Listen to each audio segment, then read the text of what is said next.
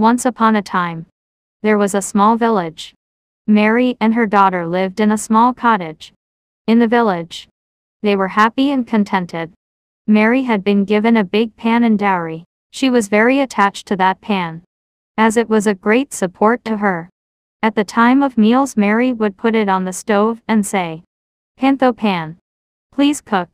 And quickly too. I am hungry. Cook some porridge. The porridge was ready in no time. Uncle George was astonished to see the magic pen. He said to himself, Ah. Now I know the secrets Mary's cooking. I have an idea, I will steal this magic pan.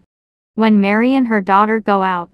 The next day, when Mary and her daughter went out, Uncle George crept into their house and stole the pan. He went into his kitchen, put the pan on the stove and said, Pan. Oh pan please cook. And quickly too. I am hungry. Cook some porridge. The porridge started boiling in the pan. Soon the pan was filled with porridge. Uncle George had heard only those words, which began the cooking in the pan. But he did not know the magic words. That would tell the pan to stop cooking, so he said all right. Enough. Enough. Please stop cooking. But how would that pan stop cooking? The porridge began to overflow and spill out of the pan.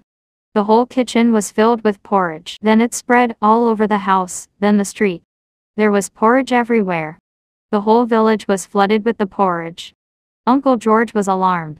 He ran helter-skelter shouting for help. Please, Somebody please help me. Somebody please come and say something to this pan. The whole village will be drowned in the porridge.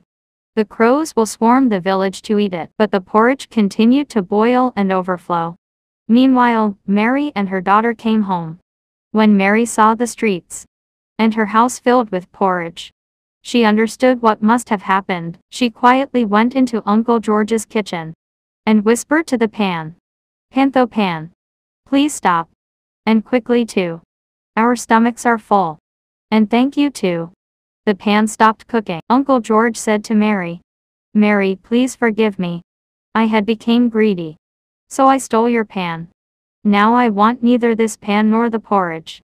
Please pardon me for my offense. Uncle George had not heard the words which Mary whispered to the pan to stop cooking.